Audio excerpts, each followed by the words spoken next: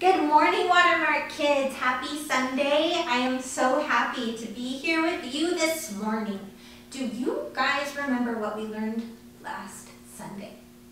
It was a long time ago, I know. And we have really busy weeks. So it's going to be hard to remember, but let me refresh your memory. Do you remember how Saul became king?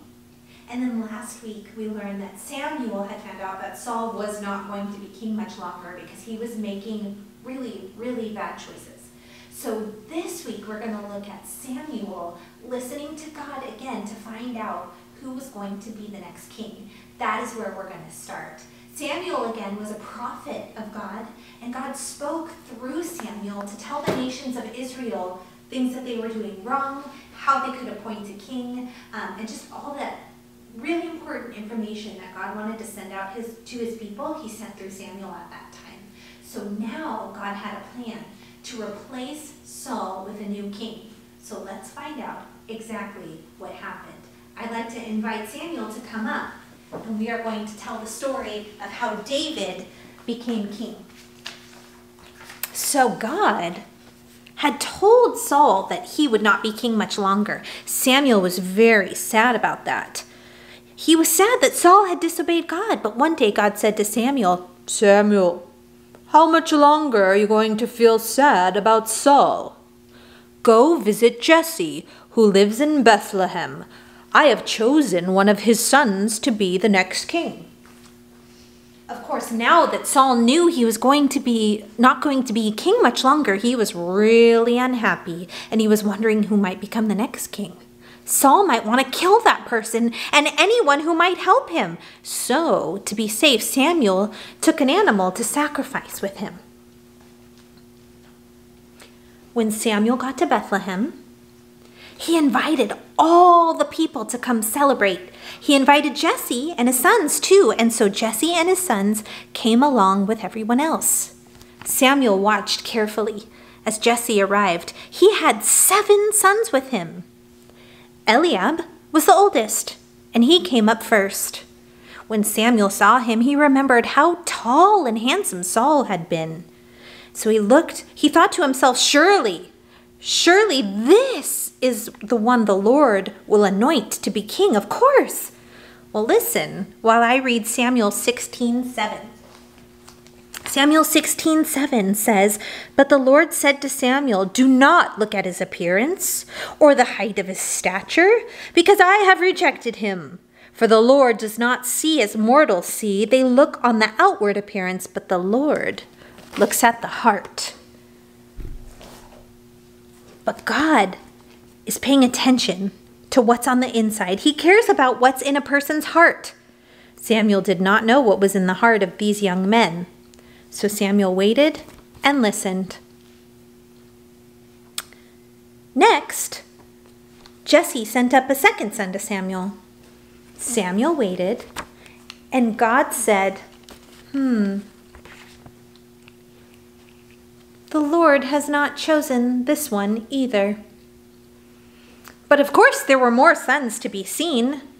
One by one, Jesse sent them to stand in front of Samuel.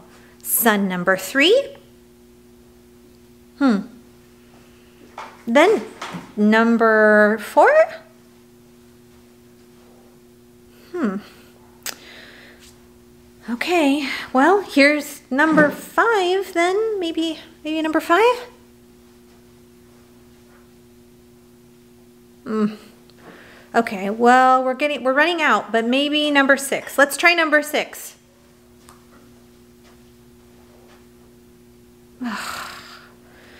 Finally, number seven passed in front of Samuel. And God still said, Nope, not that one. What? Out of seven sons, the Lord had not chosen one for Samuel to appoint? What was wrong? God had sent Samuel here to anoint one of Jesse's sons. oh, of course. God said he to anoint a son of Jesse. So there must be another son somewhere. Samuel asked, Is this all? Or do you have any more sons?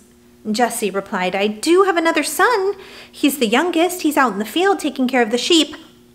Bring him here. We won't begin the celebration without him, said Samuel. So a servant ran to go find the other son. They all waited and waited and waited. They were not going to have this feast until Samuel met the last son of Jesse.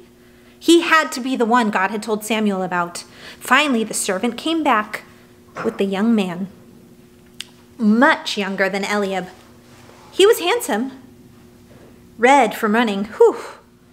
God had chosen this young man to be the next king. The one no one remembered to invite, the one who everyone thought was just a sheep keeper.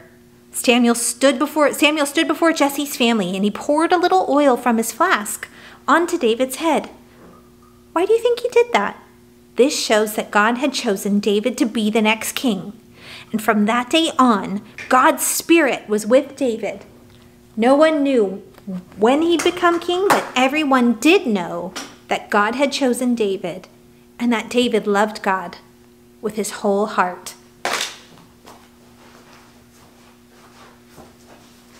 So, friends, isn't that interesting that God chose the youngest son of all seven, or all eight actually? There were seven before him that could have been the ones to serve. But no, because God knew David's heart, and David's heart was different than the ones of his brothers. God always chooses the most unlikely people in the most unlikely places to do his work, to do the work for his kingdom. He is so good and so faithful, and he chooses people like you and me to be to be his servants, to be his children, to be his light, his light to other people. So I want you to remember that. And next week we'll learn more about David because there was a lot of great things that David did and some not so good things because no one's perfect. David wasn't perfect either. He made some mistakes and, and bad choices along the way, but God used him to complete his story of redemption for his people, and we'll learn about that next week. All right, friends, it was great to see you this Sunday. I hope to see you soon. Bye-bye.